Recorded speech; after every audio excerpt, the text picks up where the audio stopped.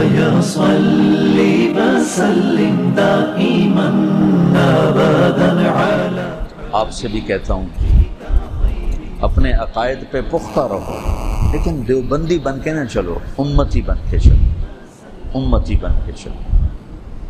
اس بھڑکتی آپ کو بجھانا ہے۔ اس کو بڑھانا نہیں، بجھانا ہے۔ تبلیغ نے یہ فاصلے مٹائے ہیں تبلیغ کا کام نہ ہوتا۔ کتنی بڑی تباہیاں انسانیت کو دیکھنی پڑتی تو آپ کا سال شروع ہو رہا ہے۔ آپ بہت اچھے بچے ہو، بہت نیک بچے ہو۔ ایک تو میری مدد کرو، میں آپ کی مدد کا محتاج ہوں۔ جس کی اتنی زیادہ اولاد ہو اور سارے دعا کر رہے ہوں، تو اللہ کسی کی تو سنے گا نا۔ دو تین سو بیٹے ہوں اور سب نفل پڑھ کے دعا کر رہے ہوں اپنے باپ کے لیے۔ تو اللہ تعالیٰ کسی کی تو سنے گا۔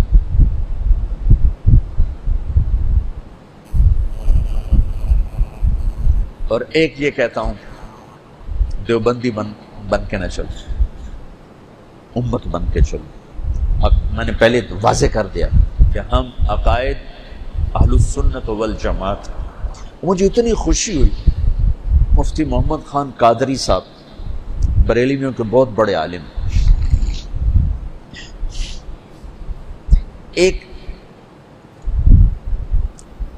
نوجوان تھا، بہت غریب۔ میرے بیان یاد کیے یاد کیے یاد کیے اور خطیب بن گیا۔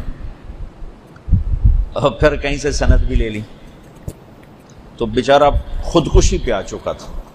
تو میں اس کو سپورٹ کرتا تھا، اس کو خرچہ دیتا رہا دیتا رہا دیتا رہا دیتا رہا۔ یہاں تک کہ اس کی خطابت چل گئی اور وہ خود کمانے والا بن گیا۔ تو اس نے انہیں فون کیا۔ پہلے وہ غیر مقلد بنا، پھر وہاں پیسے تھوڑے تھے تو پھر وہ بریلوی بن گیا یہاں پیسے زیادہ تو تو اس نے مجھے فون پہ بتایا کہ جی میں نے مفتی محمد خان صاحب کو فون کر کے بتایا۔ میں نے کہا جی میں پہلے غیر مقلد تھا اور اب میں سنی بریلوی ہو گیا ہوں۔ تو انہوں نے کہا نہیں بیٹا، غیر مقلد، دیوبندی، بریلوی، یہ سب اہل السنت والجماعت ہیں۔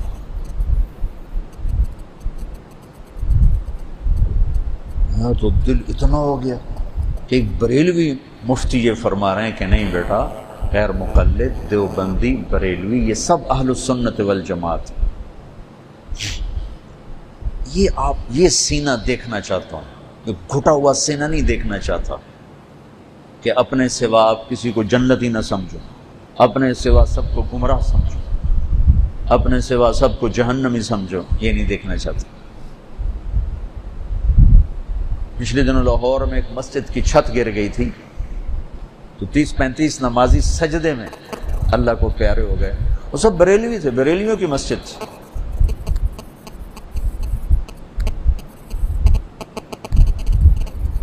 میرے اللہ نے تو ان کو سجدے میں اٹھایا۔